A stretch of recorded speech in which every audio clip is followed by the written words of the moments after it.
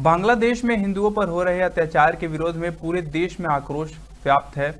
जिससे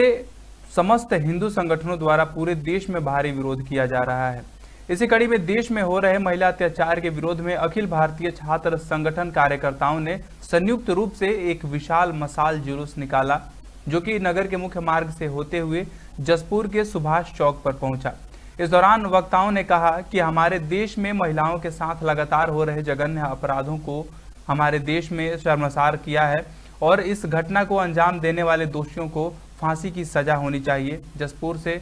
प्रदीप श्रीवास्तव की रिपोर्ट। और जिस तरह से बांग्लादेश में हिंदुओं पर हो रहे अत्याचार, वो एक हिंदुओं के खिलाफ जो सोची समझी साजिश चल रही है, जो विदेशों में फंडिंग होती है और फंडिंग के माध्यम से सोच रहे हैं कि हिंदू धर्म, हिंदू समाज को दबाने का प्रयास किया जा रहा है तो ऐसे प्रयासों को मुँह तोड़ जवाब देने के लिए हिंदू कहीं पीछे नहीं है। और आज हिंदू पूरे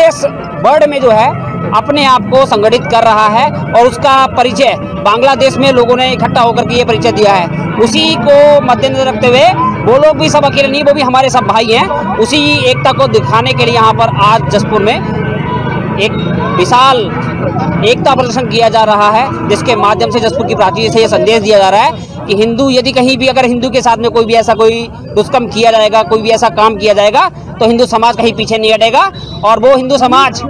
जिसने आज तक सभी को वसुदेव कुटुम्बकम की भावना से काम किया है, उसको कोई दबाने का प्रयास न कर सके। इसलिए ये एकता का प्रदर्शन जो किया जा रहा है, ये एकता का प्रदर्शन आने वाले समय के लिए उन लोगों के लिए मुजीर होगा, जो लोग ये समझते हैं कि हिंदू समाज बहुत ही बटा हुआ है।